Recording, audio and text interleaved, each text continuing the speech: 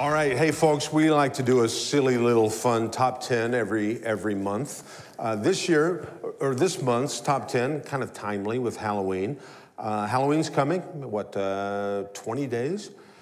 And this year we could assault you with bad costumes, but we decided to take it a step further. This is the top 10 pet costumes. So if you look at your screen, you'll see some adorable, maybe, pet costumes. Let's go with number 10. Top 10 pet costume. I have no idea what that is. That is, oh, that is some kind of, yeah, I know it, but it's, what is that, a Greyhound? Greyhound, Star Wars-ish kind of, okay, that's pretty cool. Number nine, top 10 pet costume. That is the Doberman Batman and Robin. Always a big hit. Number eight.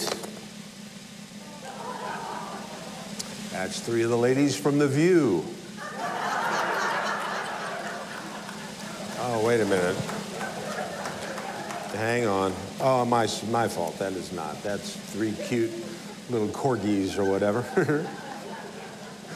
Number, I know, I'm an idiot. Number seven. Thank you. Thank you very much. Number six, pet costumes. Oh, that's awesome. Little, uh, little cauldron action there. Number five, top 10 pet costumes.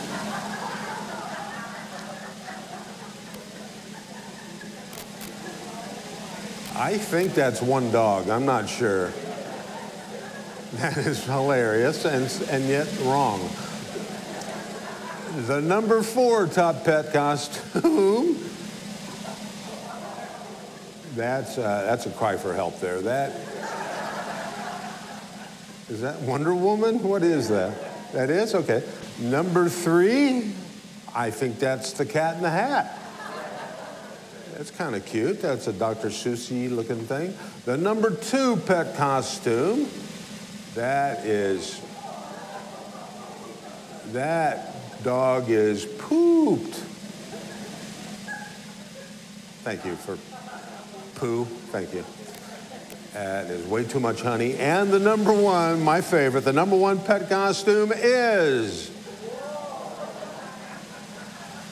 He ain't nothing but a hound dog. How about a big round of applause for the top 10 Halloween pet costume?